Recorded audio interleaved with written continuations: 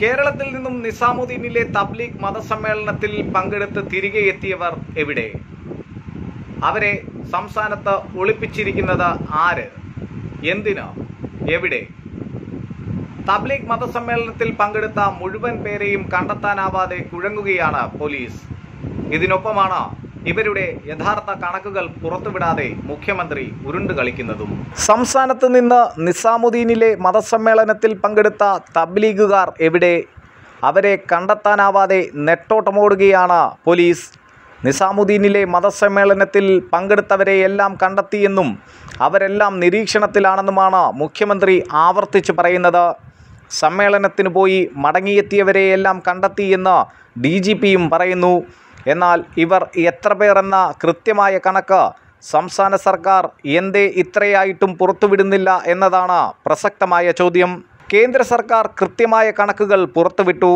അയൽ സംസ്ഥാനങ്ങളായ തമിഴ്നാട് കർണാടക എന്നിവർ അവരുടെ മെഡിക്കൽ ബുള്ളറ്റിനിൽ തബ്ലീഗ് പ്രവർത്തകരുടെ രോഗവിവരം പ്രത്യേകിച്ച് രേഖപ്പെടുത്തുന്നുമുണ്ട്. എന്നാൽ കേരളത്തിൽ മാത്രം ഇതൊന്നും ആരും അറിയുന്നില്ല. മാത്രമല്ല തബ്ലീഗ് സമ്മേളനത്തിൽ പങ്കെടുത്ത ഇരുന്നൂറ്റി എൺപത്തിനാല് മലയാളികളുടെ ഫോൺ സ്വിച്ച് ഓഫ് ആണെന്നാണ് ഡി ജി പി കഴിഞ്ഞ ദിവസം വ്യക്തമാക്കിയതും. എന്നാൽ അടുത്ത ദിവസം കളിമാറി അന്നത്തെ വാർത്താ സമ്മേളനത്തിൽ ഡി ജി പി പറഞ്ഞത് എല്ലാവരെയും കണ്ടെത്തി എന്നാണ്. മൊബൈൽ ഫോൺ സ്വിച്ച് ഓഫ് ആണെങ്കിലും ആളെ കണ്ടെത്താനാകുമെന്ന ന്യായീകരണവും അദ്ദേഹം പറഞ്ഞു. എന്നാൽ സ്പെഷ്യൽ ബ്രാഞ്ച് അടക്കമുള്ള പോലീസ് വിഭാഗങ്ങൾ ഇപ്പോഴും തബ്ലീഗുകാരെ കണ്ടെത്താനുള്ള നെട്ടോട്ടത്തിലാണെന്നാണ് വിവരം. നിരവധി പേർ സംസ്ഥാനത്ത് ഒളിവിൽ കഴിയുന്നുണ്ടെന്നാണ് നമുക്ക് ലഭിക്കുന്ന വിവരങ്ങൾ.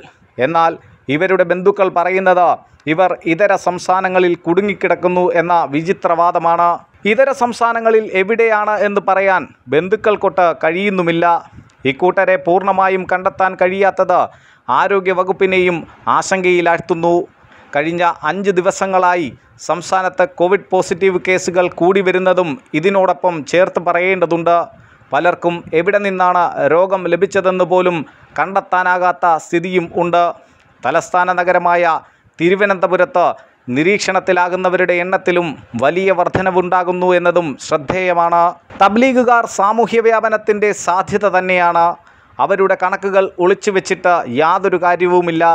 ഇക്കൂട്ടരെ ഉടൻ കണ്ടെത്തി ക്വാറന്റൈൻ ചെയ്യേണ്ട സർക്കാർ അതിന് മടികാട്ടേണ്ട കാര്യവുമില്ല.